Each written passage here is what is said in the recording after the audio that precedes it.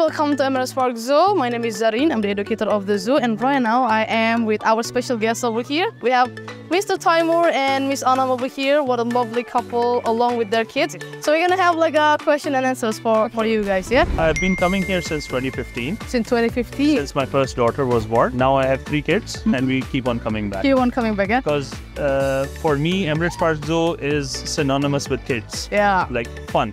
Yeah. So it's very Okay. simple decision to Yeah. come here. The real reason we keep on coming back here is because it's all hands-on approach. Yeah. Uh, the animals are all accessible. They're all friendly, Mm-hmm. well cared for, and the zoo is very, very well laid out. It's not too big and it's not too small. Yeah. So for so young kids, it's the perfect combination. It's very easy for them to reach uh, from uh, one animal to another animal, Yeah, right? yeah. All right, very nice. I rate my experience about the zoo based on the happiness of my children. Yeah. And they leave happy all the time. Yeah. And they want to stay here. So 100 out of 100 for me.